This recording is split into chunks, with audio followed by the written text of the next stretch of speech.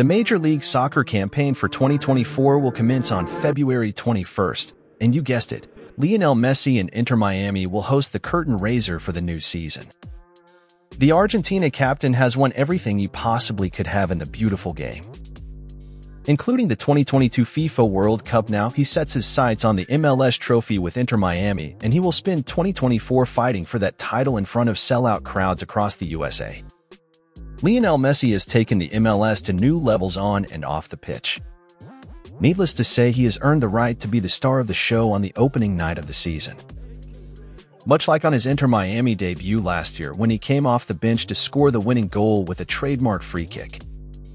StubHub have previewed the upcoming MLS season with regards to ticketing, and their findings show that ticket sales across the whole league have gone up by seven times thanks to the arrival of Lionel.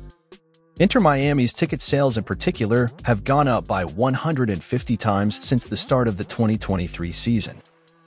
It comes as no surprise that they now have the top sales numbers across the whole of the MLS.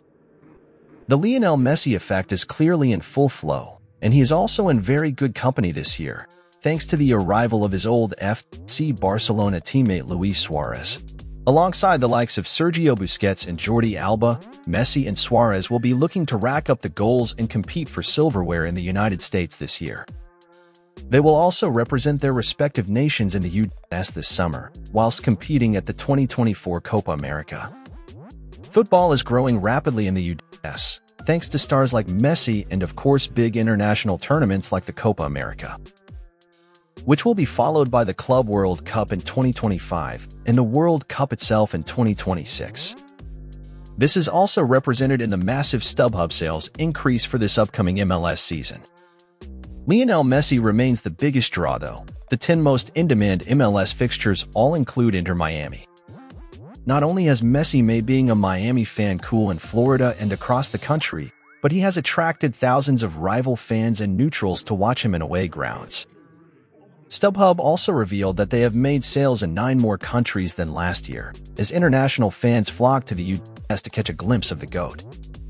A matter of months ago, Inter Miami were rock bottom in the MLS, and they couldn't shift their game tickets. Now they could sell out their stadium multiple times over. This is the Lionel Messi effect, and stadiums will be packed across the United States of America all year, as the magical Argentine drives Inter Miami on. In search of MLS glory for the first time in their history,